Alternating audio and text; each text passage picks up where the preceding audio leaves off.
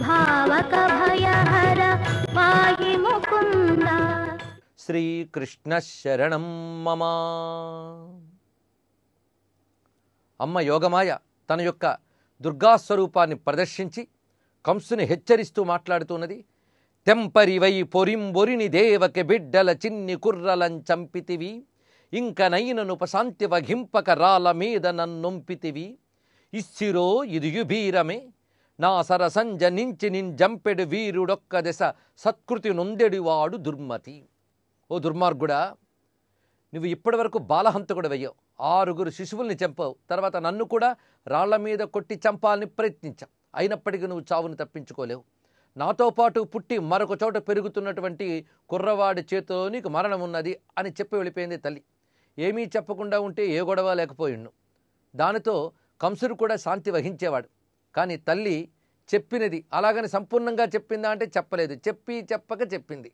యోగమాయ లక్షణమే అది. ఎక్కడున్నాడో చెప్పలేదు కానీ ఒక చోటు ఉన్నాడని చెప్పింది. ఇంకా వాడికి మళ్ళీ అన్వేషణ మొదలు.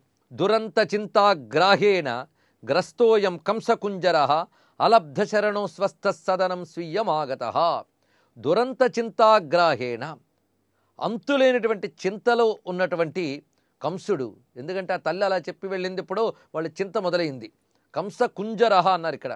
ఇక్కడ కుంజరం అంటే పెద్ద ఏనుగుని అర్థం. ఎంత ఏనుక్కైనా గట్టిగా గొలుసులతో బంధిస్తే ఎలాగైతే కృంగిపోతుందో అంతవరకు మదగజంలా తిరిగినట్టు కంసుడు ఈ చింత అనేటువంటి ఒక భయంకరమైన గొలుసుతో కట్టబడ్డాడు. అలబ్ధ శరణ ఒక విధంగా దిక్కులేని వాడయ్యట్ట అంటే ఏం చేయాలో తోచని వాడయ్యాడు అస్వస్థ. మనస్సు సరిగ్గా లేదు. అటువంటి వేదనాభరితమైన హృదయంతో సదనం స్వీయమాగత. తన ఇంటికి తిరిగి వచ్చాడు. అని ఇక్కడితో ప్రథమ తరంగం పూర్తయింది. దీన్ని పూర్తి చేస్తూ నారాయణ తీర్థులు చెప్తున్న గద్యం ఇది. ఇది శివరామానంద తీర్థపాద సేవక శ్రీ నారాయణ తీర్థ విరచితాయాం శ్రీకృష్ణ లీలా తరంగిణ్యాం శ్రీకృష్ణ ప్రాదుర్భావ వర్ణనం నామ ప్రథమ తరంగ సమాప్త. శివరామానంద తీర్థ పాదసేవకుడు అనగా ఇక్కడ నారాయణ తీర్థుల వారు గురువులు శివరామానంద తీర్థుల వారు.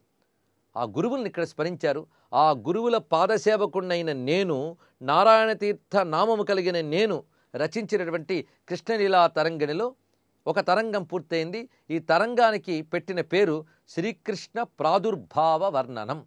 అనేక అంశములు ఉన్నప్పటికీ ప్రధానాంశం ఇది కనుక ఇదే ఇక్కడ శీర్షికగా తీసుకున్నారు. ఇప్పుడు తర్వాత ద్వితీయ తరంగంలో ప్రవేశిస్తున్నాం. నందగోపశ్చ గోప్యశ్చ యశోదా రోహిణీ సుతౌ రామకృష్ణౌ తయో సమ్యక్ లాలనం రామకృష్ణయో గర్గాచార్యాభిగమనం తయోర్నామకృతిస్తత పూతనా శకటాదీనా మర్దనం తదనంతరం నవనీతాది చౌర్యంచ యశోదాయై నివేదనం యశోదయా కృతం కృష్ణస్యాహ్వానం ప్రణయాన్ ముహు ఉలూఖలే దామబంధో యమళార్జున భంజనం యక్షాభ్యాంచ కృతం స్తోత్రం విశ్వరూప ప్రదర్శనం యశోదయా కృతం స్తోత్రం బాలభావ ప్రదర్శనం ఇచ్చేవం బాలలీలాయా కథా సంగ్రహ ఈరిత.